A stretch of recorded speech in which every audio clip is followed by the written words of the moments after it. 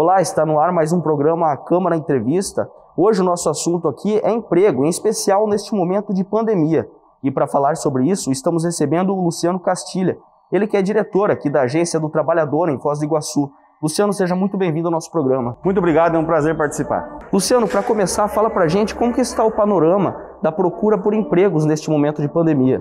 O momento todo da pandemia, a gente teve uma preocupação muito grande pela falta de emprego. A decorrência dos desempregados era muito grande. E nessa pequena retomada econômica, a gente está sentindo melhoras. Luciano, a mudança de atividade, de repente a pessoa é, assumindo alguma vaga que não seja de sua área de formação, ou mesmo alterando aí sua atividade, a sua forma de trabalhar, tem sido um recurso utilizado pelas pessoas para garantir emprego e renda na pandemia? A gente percebeu muito que durante a pandemia, muitos uh, migraram de profissão. Um exemplo é o número de MEIs abertos pela Central do Empreendedor, de pessoas que eram empregadas e se tornaram empreendedores com atividades simples, como costureira, como vendedor ambulante ou outras formas de sustento. Né? Então, o MEI foi uma salvação nesse momento pandêmico e, e agora já é uma, uma, opção a mais, porque ali você consegue contribuir com o INSS e consegue ter uma renda para esses, os empreendedores que mais destacam. Né? Luciano, passa para a gente algumas dicas para que a pessoa possa desenvolver um bom currículo. O currículo também ele avançou na era digital. Hoje, além do papel impresso, a gente recomenda que o candidato tenha esse currículo digitalmente em PDF ou alguma outra, um outro arquivo, porque muitas empresas pedem esse currículo para enviar por um e-mail ou até pelo WhatsApp. Então, além das informações serem corretas, você que está elaborando um currículo, não imita a informação. Confirma se o telefone está correto, se seu e-mail está correto. Todos os dados, até seu endereço, não, não coloque um telefone de um parente, coloque o seu pessoal. Em último caso só, um telefone que não seja seu.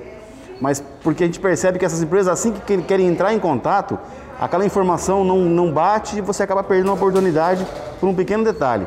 Então não omita a informação, quanto mais informação você colocar nesse currículo, melhor, porque é uma candidatura, né? Você tem, vai estar concorrendo com outros candidatos para essa vaga de emprego e também o currículo digital. Luciano, fala pra gente sobre a importância da pessoa ser qualificada para assumir uma vaga aqui no município.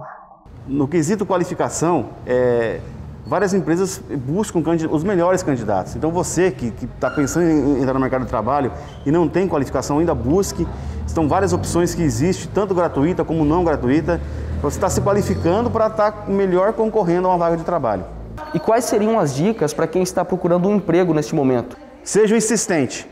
A pandemia está passando, a vacinação está avançando e você que perdeu o emprego durante a pandemia, volte lá no seu antigo empregador, tente se essa vaga está disponível ainda, se não, a agência do trabalhador está disponível aqui de portas abertas, buscando todo dia novos, novos contatos para oferecer o maior número de vagas possível para retomar a economia no município.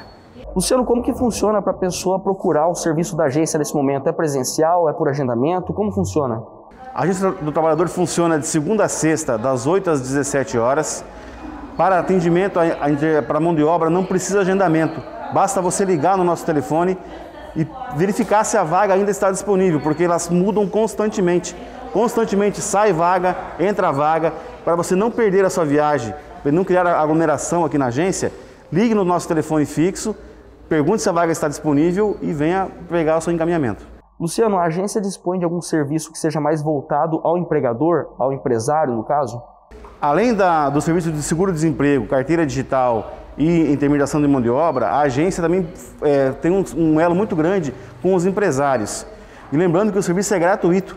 Dentro aqui da agência temos uma estrutura para você, empresário, que procura uma vaga ou 100 vagas, temos um espaço específico para você fazer a seleção da mão de obra, entrevista, tudo aqui dentro da agência gratuitamente. Basta nos procurar, fazer o cadastro e agendar esse, esses horários que estamos disponíveis aqui para fomentar uh, o comércio no município. Tá certo, Luciano, muito obrigado pela sua participação.